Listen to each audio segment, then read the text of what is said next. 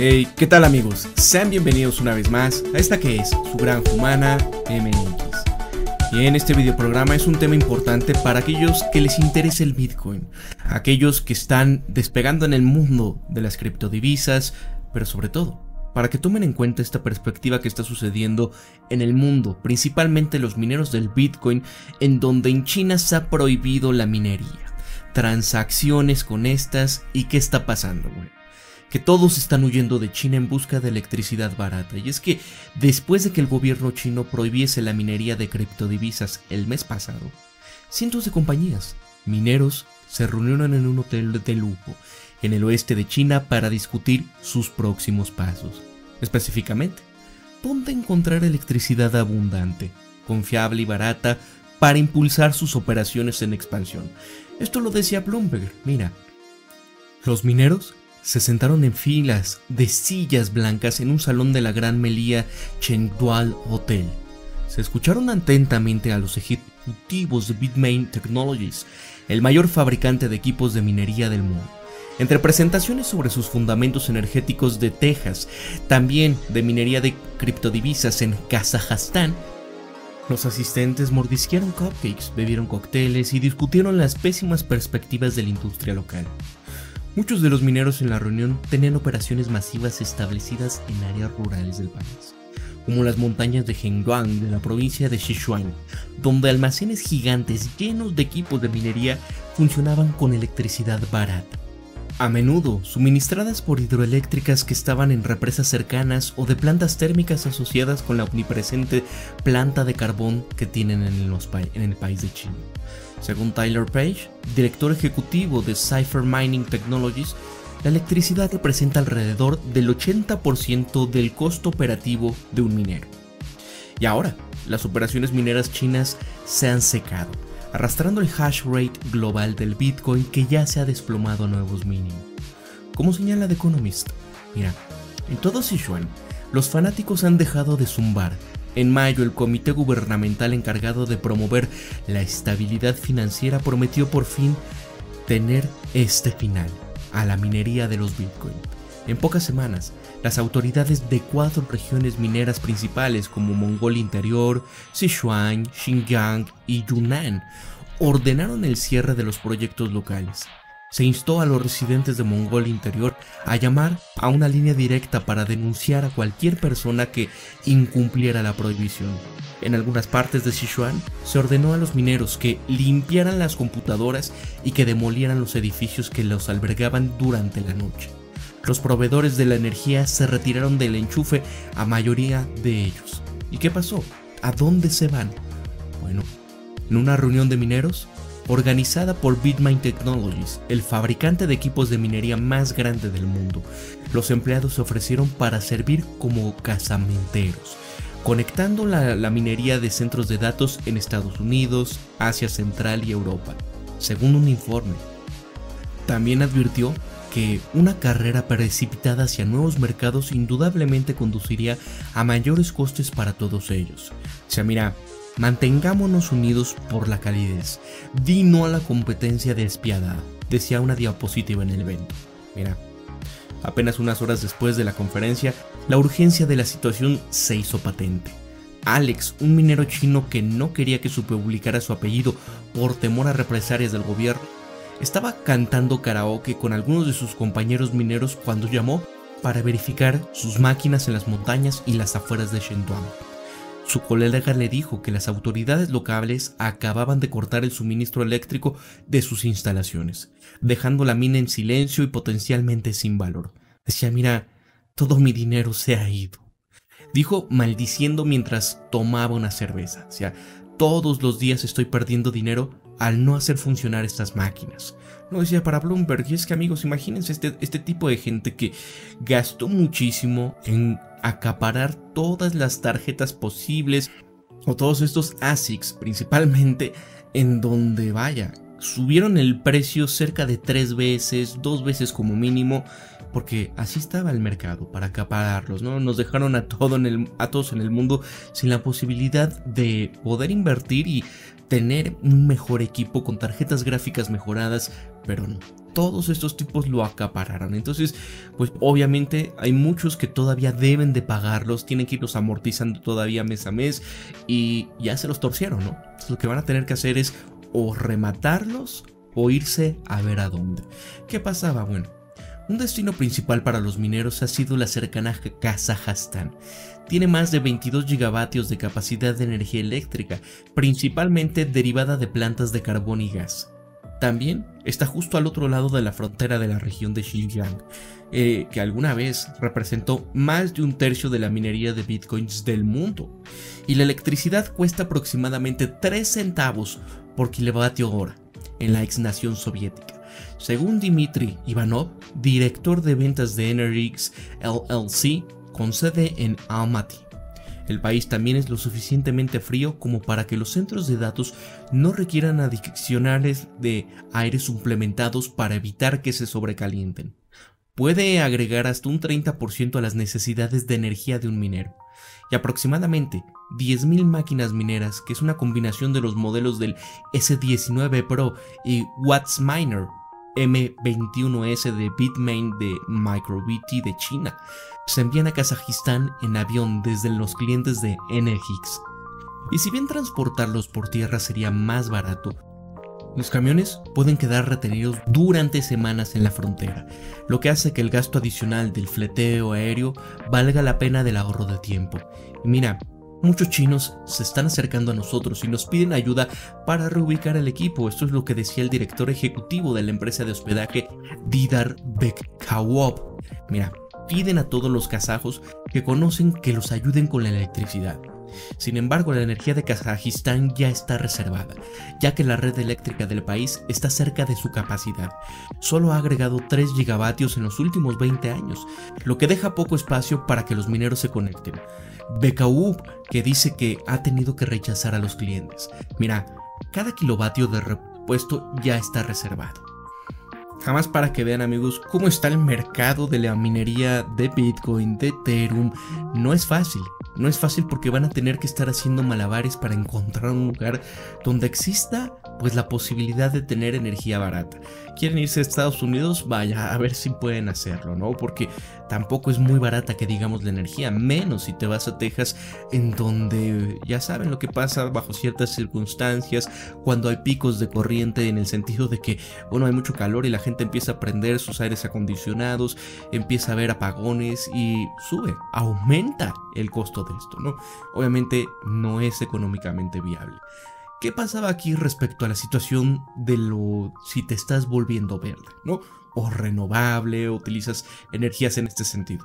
Bueno, según un informe, hay algunos mineros chinos que están arrancando eh, aquí para aprovechar la oportunidad de explorar energías más limpias. A pesar del hecho de que gran mayoría de la electricidad del mundo proviene de la quema de combustibles fósiles, esto llevó, por ejemplo, a Elon Musk de Tesla a suspender los pagos de Bitcoin hasta que la industria pudiera hacer limpia su energía o su huella de carbono, mientras los propios Teslas siguen siendo gran parte impulsadas por carbón, por supuesto, es decir, para su manufactura. Y si bien se informó que el 76% de los mineros ya usa energía renovable, el 39% de la energía total utilizada para la criptominería es renovable. Los mineros criptográficos se enfrentan a un impulso mucho mayor para descarbonizar la energía para combatir el cambio climático. El porcentaje de energía de fuentes renovables debería de aumentar aproximadamente dos tercios del suministro para 2050, frente al 12% que hizo en 2020. Y para evitar que las temperaturas suban más de 1.5 grados Celsius desde los niveles preindustriales, según la Agencia Internacional de Energía. Países de todo el mundo, incluido China, Estados Unidos y la Unión Europea, tendrán que acelerar la construcción de parques eólicos y solares para que éstas crezcan y puedan alcanzar sus objetivos. Las fuentes de energía renovables como el viento y el sol pueden ser abundantes en ocasiones, pero la demanda de ellas aumenta a medida que los automóviles, la calefacción doméstica y las industrias pesadas cambian cada vez más a electricidad. La región nórdica, que durante mucho tiempo ha sido un lugar popular para la minería de Bitcoin debido a su amplia energía hidroeléctrica, comenzó a quedarse sin exceso de electricidad a principios de año, a medida que los usuarios industriales aumentaron la producción. Y hay un uso más noble de la energía renovable que la minería de Bitcoin. Esto lo decía Pierre Wall, que es director ejecutivo de la empresa minera Argo Blockchain PLC, que cotiza también en Londres. Dice, mira, pero el hecho es que la gente va a explotar Bitcoin por completo. No va a desaparecer. Y los mineros también quieren tener una confianza de que no se despertarán una mañana con la noticia de que su negocio ha sido ilegalizado nuevamente. Bit Digital Inc., que es una empresa minera que cotiza en el Nasdaq, comenzó a trasladar algunas de las 30.000 máquinas que operaban en China a América del Norte en octubre. Pero cuando Beijing tomó medidas enérgicas, Bit Digital pudo mantener la minería con la menor interrupción posible. Esto lo decía Bloomberg. Pero mientras tanto, algunos mineros que buscan establecerse en los Estados Unidos tienen que navegar por las diferentes regulatorias que están entre sus redes. Por ejemplo, Cypher Mining Technologies, la rama estadounidense de Bit3 Holding BB, con sede en los Países Bajos. Está trabajando para expandirse en Texas debido a que es el único estado con la red eléctrica desregulada, así como Ohio, o debido a los bajos precios de la energía del estado y fuentes de energía bajas en carbón. Nueva York, por otro lado, donde los legisladores habían propuesto previamente severas limitaciones a la minería, es mucho menos atractiva. Otras ah, ubicaciones para los mineros incluyen Kearney, Nebraska y El Salvador, que anunciaron el mes pasado que serían las primeras del país del mundo en adoptar Bitcoin como moneda de curso legal, mientras que la compañía estatal de la electricidad geotérmica se le ordenó que elabore un plan para la minería de Bitcoin impulsada por un volcán. A fin de mes pasado, la empresa de logística china transportó por aire equipos de minería Baltimore, Maryland. Mira, cada conversación que tenemos comienza con la fuente de energía potencial del sitio, según el director de estrategia de BitOda de Sam Doctor. Están buscando energías renovables y ese es un paso realmente importante para la ecologización del Bitcoin. Y aquí llega esto amigos, nada más para que vayamos viendo cómo la fiebre de la minería no ha acabado, independientemente de que esto haya representado un duro golpe para el hash rate del Bitcoin, pues bueno, esto se irá recuperando poco a poco, esto van a empezar eh, una vez más en esta carrera, como lo había en su momento en Estados Unidos, la carrera por la fiebre del oro, ¿no? Ir y poner y ver dónde va a haber esto. Aquí lo que se busca, pues obviamente, es que las regulaciones no te vayan a comer el día del mañana en donde tengan proyectos de energía renovables que sean a futuro viables porque vean esto, ¿no? El, caso de Kazajistán en donde dicen, bueno, vámonos para allá, todavía es barato, el problema es que sí, pero no hay proyectos en puerta y todavía pues están por acabarse toda esta posibilidad, el potencial productivo de las empresas. Entonces, no, pues es que cada esto impacta, ¿no? Imagínate conforme vaya creciendo la ciudad, eh, vaya, es una situación para pensarse. Igualmente para que sea barato, ¿no? Porque ya lo vimos. 80% eh, del costo que tienen eh, todos los mineros es en electricidad. Lo demás, pues bueno, son costos fijos, costos variables, que van siendo pues las mismas tarjetas, van siendo el pago para el personal, el mantenimiento, etcétera. Pero la gran mayoría de estos se van a electricidad. Y si llegan a un país donde de un de repente, de la noche a la mañana, les van a decir, oye, ¿sabes qué? Es que ya no, porque pues ha cambiado la legislación. Hemos tenido cortes de energía o simplemente no se dan abasto todas estas eh, energías renovables para brindarte todo lo que tú necesites, ¿no? Ahí se está viendo el caso del Salvador, bueno, ahí se está construyendo y se están ampliando planes para la minería con geotermia, ¿no? A base de energía generada por fuente geotérmica de un volcán. Esto es lo que están buscando, esto es hacia dónde se van a ir, pero obviamente no va a dar para todos. Entonces ahí va a estar amigos, nada más para que vayan viendo un poquito más sobre esta situación del Bitcoin. y de momento, sí, se han llenado ciertas partes de pues tiendas chinas como por ejemplo eBay, Alibaba, puedes conseguir tarjetas de segunda mano. El problema es que le tienes que dar un muy buen mantenimiento porque si las recibes así, imagínate, esa tarjeta estuvo minando el 24/7, ¿no? por quién sabe cuánto tiempo eh, representó esto, cuántos días, cuántos meses, cuántos años. Bueno, ahí está. Estuvieron conectadas todo el día. Así que es cambiarles la pasta térmica, poder hacer una renovación en todo lo que sea necesario por si están dañadas. Entonces cuidado con eso. ¿eh? Lo mejor es que compres una nueva, pero si tú sabes hacerles este servicio, no habrá mayor problema. Nada más ten mucho cuidado en esto. La situación de la criptominería todavía no está en sus finales, todavía va a crecer mucho. Mucha gente está augurando que va, esto ya se va a perder, que van a haber nuevas sanciones. Sí, es posible, pero todavía de aquí a que suceda realmente a nivel mundial, no lo creo, lo dudo. Yo creo que van a irse integrando cada vez más en algunos portales de bancos privados, pero esto dependerá de si los bancos centrales van a poder permitir que la banca privada lo haga, ¿no? Esto está en veremos, pero aún así, ahí vamos a ver, vamos a ver por dónde va toda esta situación, si el casino sigue abierto, si para algunos todavía sigue siendo esto el futuro o simplemente, pues bueno, así como lo hizo China, lo va a establecer Estados Unidos, Gran Bretaña y muchas otras partes del planeta. ¿Qué va a pasar? Eso está en el aire.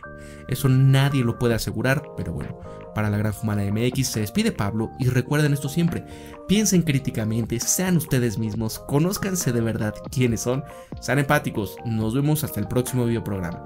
Si les gustó este videoprograma, déjame un pulgar arriba, compártenme en tus redes sociales y también, nada más si están en la posibilidad de apoyar al canal, pueden unirse como miembros del canal desde 9 pesitos mexicanos o 37 centavos de dólar, una ovación, un super chat, es más que suficiente. Amigos, muchas gracias, gracias a mis mecenas de Patreon, nos vemos hasta la próxima. Que descansen. Para la Gran Humana MX, se despide Pablo. Hasta luego.